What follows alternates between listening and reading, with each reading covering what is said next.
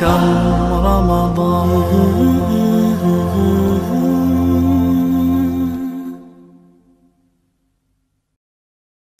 بسم الله الرحمن الرحيم. الحمد لله رب العالمين والصلاة والسلام على أشرف الأنبياء والمرسلين نبينا محمد وعلى آله وصحبه أجمعين. اللهم رب اشرح لي صدري ويسر لي أمري واحلل عقدة من لساني يفقهوا قولي. السلام عليكم ورحمة الله وبركاته. Zahvaljujemo uzvišenom Allahu Đelešanuhu i donosimo salavat i salam na njegovog poslanika i miljenika Muhammeda, alaihi salatu wassalam. Uzvišeni Allah Đelešanuhu objavio nam je vjeru koja reguliše naš odnos između nas i Allaha Đelešanuhu putem ibadeta, a najvažniji od ibadeta je namaz. Također drugi dio vjere reguliše odnos između nas i svijeta oko nas, i ljudi oko nas, i okoline i nas. Taj dio nazivamo međuljudski odnos i muamelat, gdje imamo jako puno ovaj propisa. Jer čovjek kao biće je društveno biće, ne može živjeti sam. I zbog toga, kažu naši učenjaci, e, postojanje sistema u tom segmentu je bitno, neizmjerno, važno da bi život se nastavio i da bi život funkcionirao normalno. Posebno u našim današnjim kompleksnim društvima gdje su relacije zaista brojne na razne načine. Međutim, u našoj vjeri jedna relacija posebno je podcrtana, posebno je naglašena da bi čovjek poveo računa od njoj. A to su čovjekove komšije. Allah, poslanik alaih salatu wasalam je rekao Men kane ju'minu billahi wal jevmil ahiri fal yukrim džarahu. Ko vjeruje u Allaha i u sudnji dan, neka čini dobro svome komšiji. Subhanallah. Poslanik sa selem povezuje imanu Allaha i u sudnji dan sa dobročinstvom prema komši. U drugom hadisu poslanik alaih salatu wasalam je rekao toliko mi je Džebrajlo poručivao prava komšije i prema komšiji da sam mislio da će ga učiniti naslednikom. Znači, da, da je pravo komšije zaista veliko. Naši učenjaci su komšiluk definisali na osnovu nekih predanja na 40 kuća oko nas sa svih strana.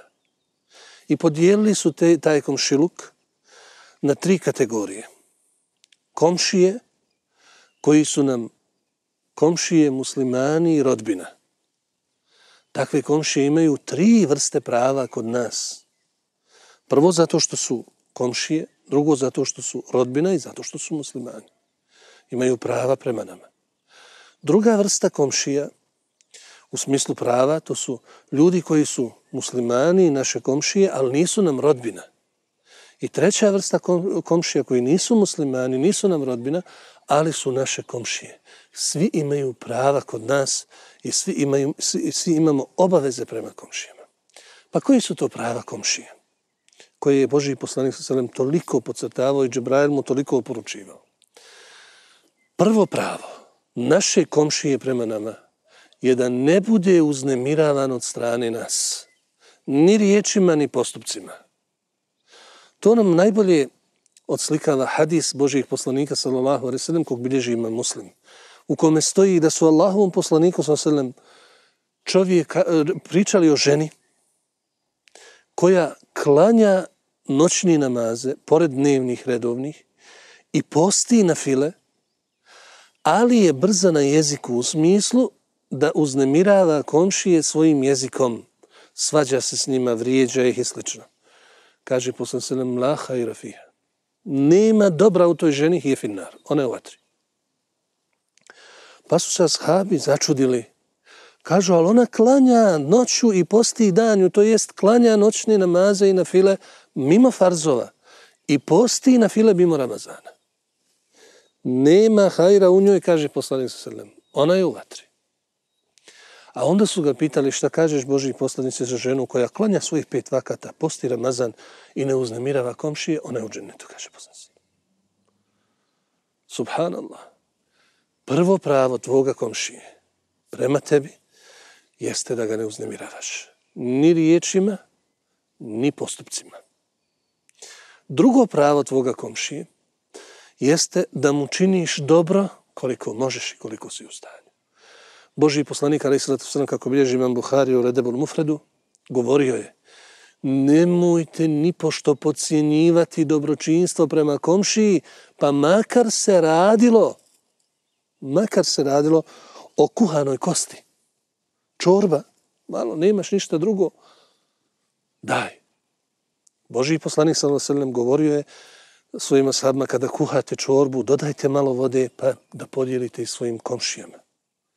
To su sve hadisi Božijeg poslanika. Imam Buhari bileži da su ashabi radijallahu anhum, a šeha Albani kaže vjerodostojna predaja, ashabi radijallahu anhum u svoje vrijeme imali komšiju jevreja, pa bi naređivali svome, svome slugi kada kolje i kada reže meso, da prvo odnese komši jevreju pa onda ostalima.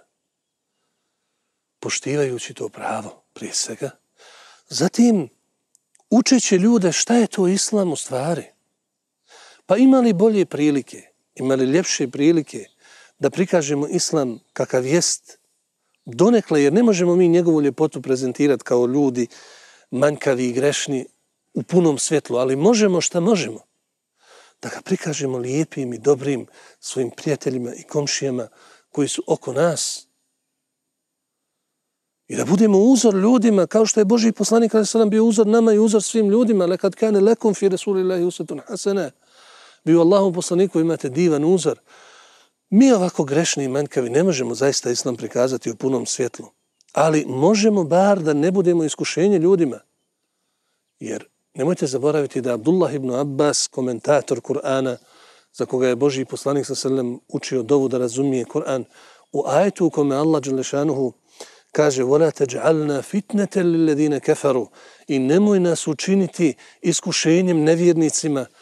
U jednom od komentara ovog ajeta Abdullah ibn Abbas kaže to jest nemoj nas učiniti od onih zbog kojih nevjernici neće da prime vjeru zbog našeg lošeg i ružnog ponašanja.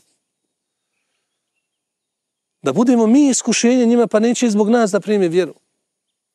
Zbog ružnog govora, zbog ružnog ponašanja i zbog ružnog postupanja. Ako imamo komšiju s kojim nismo u dobrim odnosima, s kojim imamo određene probleme, pa sad je prilika.